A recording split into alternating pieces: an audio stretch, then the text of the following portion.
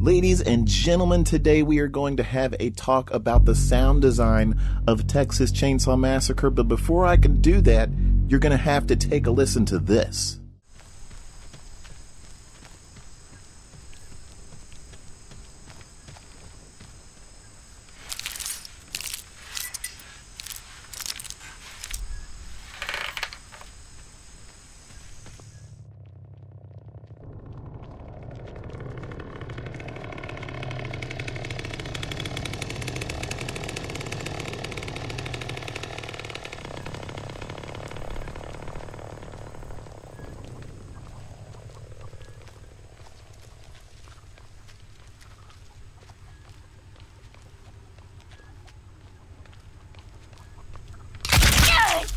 Someone help!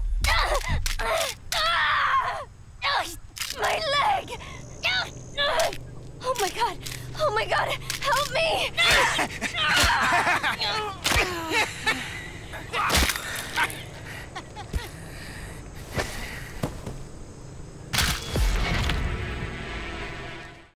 Now, there's actually a lot going on here, and it's amazing. If you guys know me and have kept up with me, you know that I am an audio connoisseur. I love working with audio. I've done several animations, putting audio together, music, all that good stuff. I love to edit and I love to create. Before Friday the 13th came out, Wes dropped a little video of Jason. It had no audio on it, and I added some and put what it would sound like if we heard Jason breathing, and it sounded like this.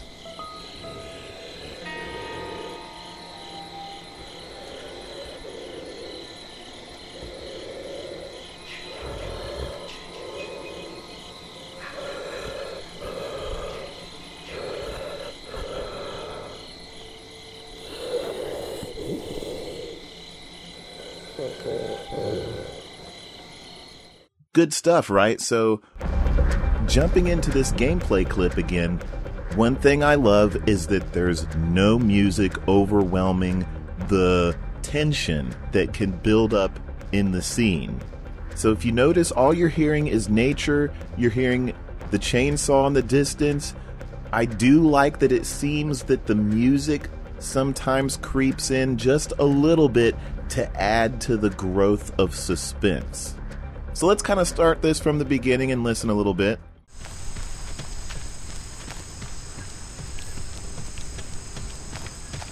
Just the basic sounds of the footfalls is great. You hear the dirt and the grass underneath hitchhiker's feet. Very believable. Great audio design. You can hear like the cicadas early sunset. You can hear the cicadas off in the distance.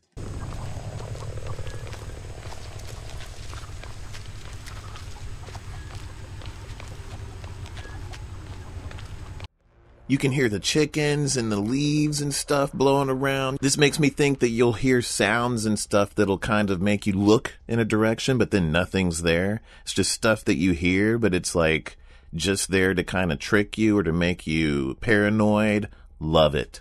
There's even the subtle sound of like a fence creaking, and you can just those little tiny sounds that you hear in the distance kind of helps you know the it sounds relaxing but you know that there's killers around so it kind of amps up the the atmosphere the audio atmosphere of everything wes and the developers have been doing interviews talking about the authenticity of everything visually and auditory so everything that you're hearing from the crickets the birds and all that is authentic to Texas. They actually traveled to Texas on multiple occasions and recorded, and you can hear the quality of the audio design is really good. And I like that there's no music that's kind of overwhelming it all.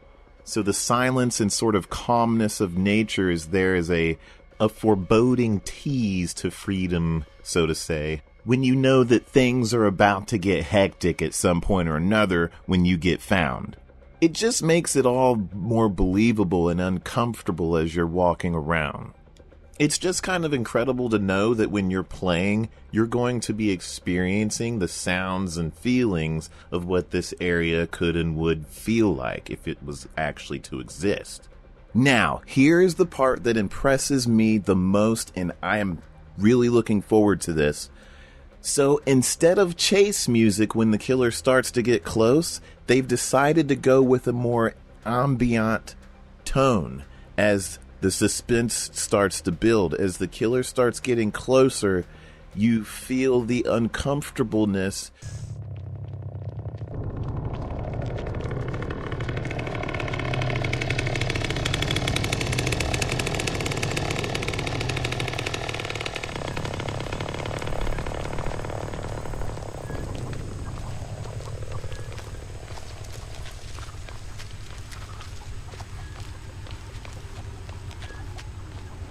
You know, because if somebody were chasing you in real life, the closer they get, the more closer death is impending, you will get more uncomfortable. The trauma would grow. You know, death is right there next to you. So, to kind of convey that growth of suspense and the the heart pounding adrenaline, you you start to hear this kind of subtle ambient booming the industrial sound that sounds like it starts to grow in danger the closer the killer gets, not to overwhelm you with some crazy chase music, but to add to that sort of feeling of suspense, danger, and desperation, you know. It gives everything a sort of atmosphere. It doesn't throw music in your face, it complements the situation if you guys want to compare it to kind of something modern, if you happen to be watching the Dahmer show, they do this a lot.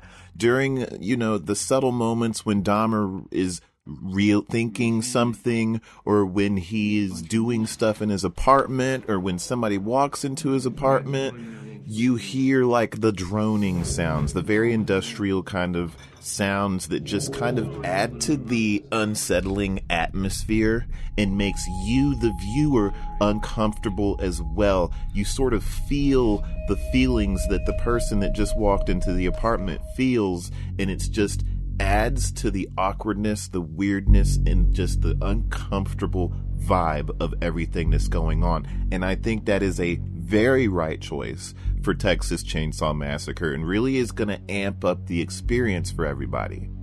Now, moving on to when Ana steps in the trap, it's very loud, it's very jarring, it's going to give you sort of a jump scare when you step into this thing.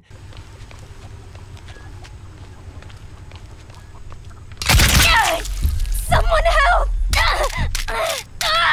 And then again, you hear the music start to creep up as the cook gets closer and closer. And the voice lines, though. Let's go. Okay, so very organic, very believable. Someone help! My leg! Oh my god! Oh my god! Help me!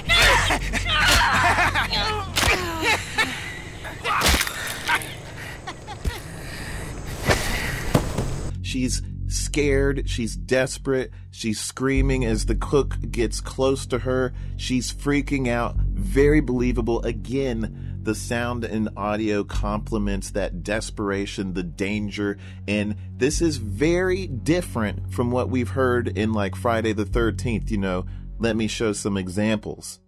Help! Please, someone! We need you, oh my god! Help! Oh God! Is that a, person? Now, see, these moments are a little bit just funny. They're memey. It's kind of just goofy. I'm so glad that they've moved away from all of that stuff. And now they're going for a more authentic sound to the way that the victims are reacting and and you sort of are there with them in that desperate experience.